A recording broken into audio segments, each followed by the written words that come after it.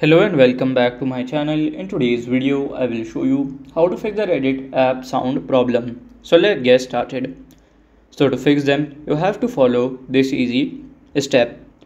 So you have to go, then you have to just press on this app info.